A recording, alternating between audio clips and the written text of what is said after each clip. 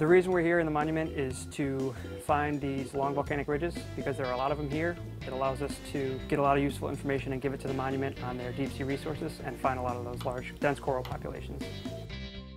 There haven't been a lot of dives in the area. I know we're doing a lot of the first dives in a lot of the locations that we're going to, and a lot of the dives that we're doing are the deepest in the monument themselves and at the locations that we're going to. It's important to explore the monument so that we can, again, find out the relationship between those large volcanic ridges and the relationship they have to the high-density coral and sponge populations, along with the sediment deposits that are along all the topography and bathymetry along the bottom here in the monument.